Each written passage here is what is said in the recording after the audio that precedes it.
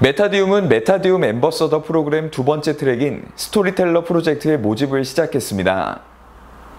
MAP은 블록체인의 지속적인 발전과 창의성을 불러일으키기 위해 지난 4월부터 메타디움에서 선보인 프로젝트인데요.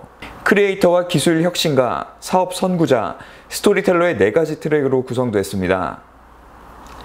1일 오후 1시부터 시작된 이번 트랙의 quest는 작가, 영상 제작, 팟캐스트, 카툰 등 총 4개의 카테고리로 나눠 진행됩니다.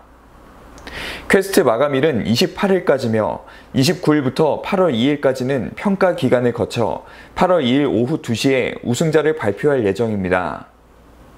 각 퀘스트 참여자에게는 포인트 지급 후 적립된 포인트에 따라 메타디움 토큰인 META를 지급합니다. 블록체인에 관심 있는 이라면 누구나 참여가 가능한데요. 자세한 참여 방법은 MAP 홈페이지에서 확인할 수 있습니다.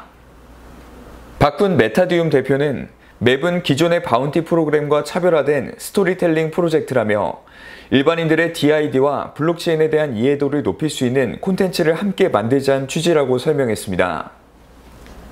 그러면서 identity와 자기 표현, 블록체인 기술에 관심 있는 전 세계의 작가, 영상 제작가, 애니메이터와 함께 맵을 통해서 끈끈한 커뮤니티를 만들어 나가겠다고 덧붙였습니다.